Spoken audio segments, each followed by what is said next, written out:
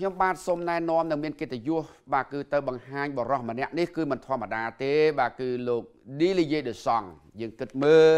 ពានរង្វាន់ទ្វីបអឺរ៉ុបឆ្នាំ2024នេះគឺបាទគឺគាត់ដឹកនាំក្រុមមន់កកបារាំង12ឆ្នាំហើយ12ឆ្នាំហើយគាត់គឺជាមនុស្សដែលជោគជ័យបំផុតសម្រាប់ជាកីឡាករផង សម្រាប់បាទគឺជាគ្រូអង្វឹកផងឥឡូវយើងមើលរំលឹកពីសមិទ្ធផលរបស់គាត់ដូចជាការពីគាត់ជា player គាត់ឈ្នះ Champions League ជាមួយនឹងអូឡ িম্প ិកម៉ាក់សីឆ្នាំ1993បារាំងលីក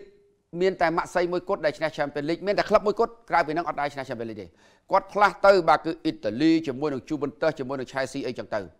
ដល់ពេលគាត់ក្លាយជាកីឡាករជា player ក្រុមជម្រើសជាតិបារាំងឈ្នះជើងឯក World Cup ឆ្នាំ2000ឆ្នាំ1998ពីរឆ្នាំក្រោយទៀតពានអឺរ៉ុបឈ្នះទៀតនៅហូឡង់បាទគឺបារាំងឈ្នះពានរង្វាន់អឺរ៉ុបទៀត ដល់20ឆ្នាំក្រោយ2018លោកបាទគឺជួយឲ្យបារាំងឈ្នះជើងឯកពិភពលោកហើយបាទគឺអឺ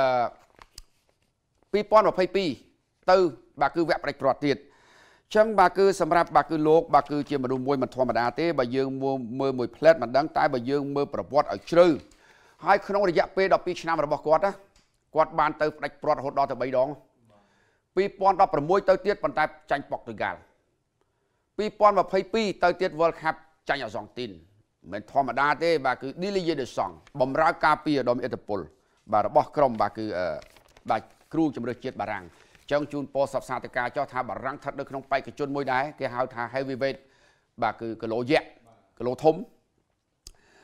មានការភ្ញាក់ផ្អើលខ្លាំងអង់គ្លេសបានកោះហៅកីឡាករបំរុងអ្នកចាំទីបំរុងរបស់ Man U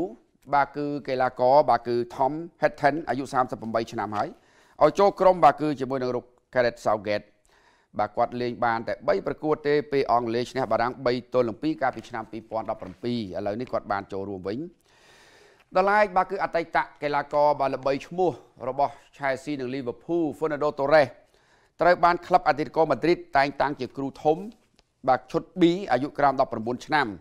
ហើយគាត់បាទធ្លាប់លេងឲ្យក្រុមអេស្ប៉ាញ110ប្រកួតឈ្នះជើងឯកពិភពលោកឆ្នាំ2010 សុទ្ធបញ្ចូលទីវគ្គផ្ដាច់ព្រាត់យកឈ្នះអាល្លឺម៉ង់អឺរ៉ុប2008នៅអូទ្រីនិងស្វីសហើយឈ្នះអឺរ៉ុប2012នៅប៉ូឡូញនិងបាទអ៊ុយក្រែនទៀតហើយគាត់ក៏ជាកីឡាករដែលផ្លាស់មានទំហំថ្លៃខ្ពស់នៅអង់គ្លេសកាលពីនោះគាត់លេង Liverpool ល្អកាលនោះមាន Stephen Gerrard ហើយផ្លាស់ទៅ Chelsea 50លានផោនសម្បែងថ្លៃហ៎2011ប៉ុន្តែបើទៅទីនោះអត់មានអ្នកអាស៊ីសឲ្យបាទគឺទៅ Chelsea គាត់ លេងមិនសូវល្អប៉ុន្តែគាត់ឈ្នះជើងឯកដូចជា Europa League ជាមួយ Atletico Madrid ជាមួយនឹង AC Milan ផងដែរដល់ឡែកបាទ Robinho បាទគឺគេឲ្យពងធ្វើការងារថ្មីជំនាញមួយនៅក្នុងពន្ធនាគារបន្ទាប់ពីចាត់កាត់ទោសឲ្យជាប់ពន្ធនាគាររយៈពេល9ឆ្នាំពីបទរំលោភនារីអាបានីកាលពីឆ្នាំ2013គេលេងឲ្យក្រុម AC Milan អតីតកីឡាកររបស់ក្រុម Real Madrid បាទ Manchester City រូបនេះលេងឲ្យក្រុមជម្រើសជាតិប្រេស៊ីល 100ប្រកួតសុទ្ធបាន28គ្រាប់លេងឲ្យ Manchester City 53ប្រកួតលេងឲ្យ AC Milan 144ប្រកួតលេងឲ្យក្រុម Real Madrid 37ប្រកួតអតីតកីឡាកររបស់ក្រុម Santos Santos មានកីឡាករល្បីល្បីច្រើនណាស់ដូចជាលោកប៉េឡេហើយ Robinho នេះគេដឹកសាអេលីកូទៅហើយមកទៀតមាន Neymar អញ្ចឹងទៅណាបាទអរគុណឥឡូវមួយទៀតបាទគឺកីឡាកររបស់ក្រុម RB Leipzig បាទគឺអាចបាទគឺមកកាន់បាទគឺ Premier League ហើយបាទគឺ Benjamin Baseko សុទ្ធបាន18គ្រាប់លេង42ប្រកួតបាទកីឡាកររូបនេះបាទគឺមិនព្រមមកកាន់ Premier League ទេនឹងពន្យាកិច្ចសន្យា បាទគឺលេងបាទនៅក្លឹបនៅប្រទេសអាល្លឺម៉ង់ជាបន្តទៀតបន្ទាប់ពី Arsenal, Chelsea, Manchester United ចង់បានរូបគេទៅរួមក្រុមផងដែរបាទសម្រាប់កីឡាកររូបនេះល្អមែនតែ ននៅសល់រយៈពេលតែ2ឆ្នាំទៀតទេការប្រកួតបាល់ទាត់ពិភពលោកឆ្នាំ2026ដែលមាន3ប្រទេសធ្វើជាម្ចាស់ផ្ទះរួមដូចជាមិចស៊ីកូអាមេរិកកាណាដាហើយមានក្រុមចាប់ពី32ទៅដល់48នៅឆ្នាំ2026នឹងចាប់ផ្ដើមហើយប្រមុខសហព័ន្ធកីឡាបាល់ទាត់ពិភពលោកបាទលោកចានហ្វនីបានបញ្ជាក់ថា48ក្រុមនេះនឹងចាប់ផ្ដើមបាទគឺនៅថ្ងៃទី11 ខែមិថុនានៅប្រទេសមិចស៊ីកូនៅកីឡាដ្ឋានអាកានសាហើយក៏คล้ายជាកីឡាដ្ឋានដំបូងគេ ដែលមាន3ប្រទេសរៀបចំធ្វើការប្រកួតហើយកន្លែងហ្នឹងក៏ធ្លាប់រៀបចំការប្រកួតវគ្គប្រាច់ព្រាត់ World Cup ដែរបាទគឺឆ្នាំ1900បាទគឺ86បាទពេលអាសង់ទីនបាទគឺ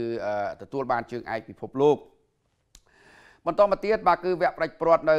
2026នៅ New Jersey សហរដ្ឋអាមេរិកបាទមិចស៊ីកូកាណាដានិងអាមេរិកនេះ ធ្វើការប្រកួតវគ្គជម្រុះតាមពូ3ប្រកួត បាទគឺសម្រាប់កាណាដានិងមិចស៊ីកូបាទហើយមានទីក្រុងតូរ៉ុនតូបាទគឺដែលត្រូវបាទរៀបចំការប្រកួតផងដែរអញ្ចឹង World Cup បាទគឺឆ្នាំ2026នេះបាទគឺជុំចុងក្រោយមានក្រុមចំនួន48ទៅផ្ដាច់ព្រាត់ចឹងចោះយើងនិយាយថាផ្ដាច់ព្រាត់ខ្លាចក៏លោវាច្រឡំហើយក្នុងនោះអាស៊ីយើងគេឲ្យកូតាចំនួន8បាទគឺពី4កៅអីកន្លះទៅ8កៅអីអាស៊ីយើង សង្ឃឹមថាអាស៊ានមានមួយទៅចោះ